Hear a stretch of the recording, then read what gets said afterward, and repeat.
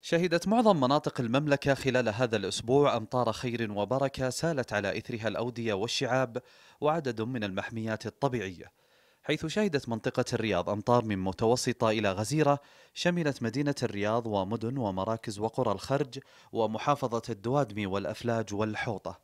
كما شهدت المنطقة الشرقية هطول أمطار من متوسطة إلى غزيرة دفعت أمانة المنطقة إلى إغلاق ثلاث أنفاق احترازيا بمدينة الدمام داعية جميع المواطنين والمقيمين إلى أخذ الحيطة والحذر وعدم الخروج من المنازل إلا للضرورة حفاظا على سلامتهم.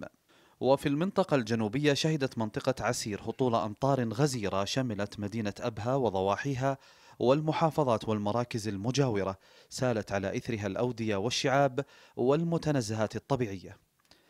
كما شهدت منطقة الباحة أمطار متفرقة من متوسطة إلى خفيفة مع انعدام الرؤية بسبب الضباب الكثيف.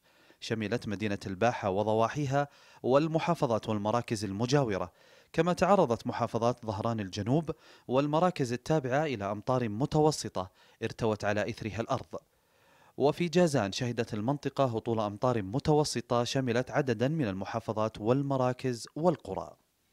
وقد أعلن الدفاع المدني مباشرته لنحو 1300 بلاغ جراء الأمطار والسيول في مختلف مناطق المملكة منذ بداية الأسبوع وحتى صباح يوم الخميس توزعت بين الرياض وعسير والشرقية فيما أعلن الهلال الأحمر بمنطقة الرياض رفع مستوى الاستعداد والجاهزية لمواجهة التقلبات الجوية وما ينتج عنها من حوادث أو حالات مرضية.